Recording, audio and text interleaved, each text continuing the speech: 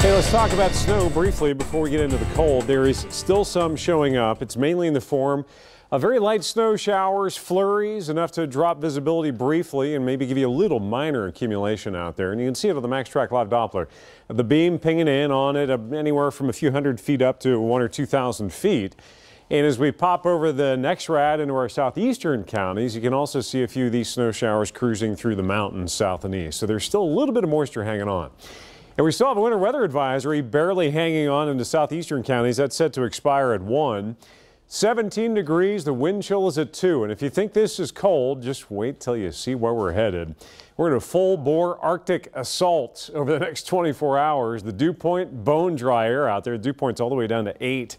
We have a sustained west wind at 15 miles per hour, so just about everybody's in the teens. We were around freezing at midnight and fell down into the teens. We've been hovering there. We're probably only going to be in the 20s by later on this afternoon. The wind chill, well, it's zero in Covington, feels like it's two in Lexington, four right now in Richmond.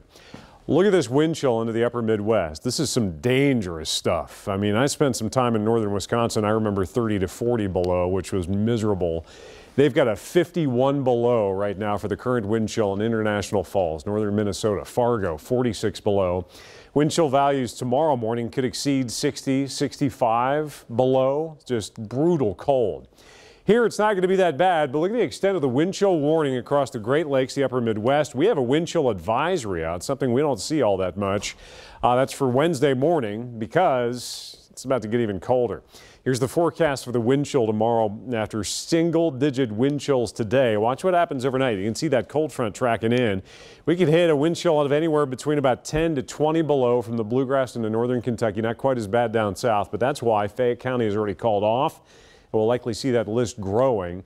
Uh, it won't be quite as bad Thursday morning, still around zero for the wind chill. The wind won't be as bad, although it'll be just as cold or maybe a degree or two colder.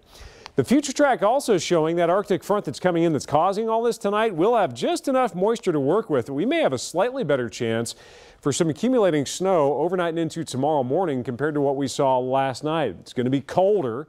Anything that we see would be very powdery in nature, and we could get a brief little shot of some light accumulation. In fact, the future track spitting out a few tenths of an inch. So don't be surprised. On top of the cold and everything else we're dealing with tomorrow morning, you have a little accumulating snow into the early morning hours. So here's your eight day forecast just to give you an idea where we're heading. Mid 20s today, single digit lows tomorrow morning. Of course, what you're not seeing that sub zero wind chill and the wind chill advisory that's in place. Tomorrow's highs only in the mid teens, some lingering snow showers early on.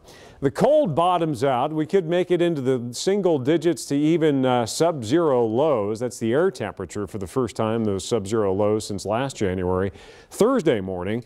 And then we bounce back in a hurry. So there is some hope there. We're going to make it into the 40s, even 50s, and be talking about rain chances in the next week. But for now, we may not make it back above freezing again until Friday at the earliest. Maybe not until Friday night, Saturday. Oh, my gracious. All right, Tom, thank you.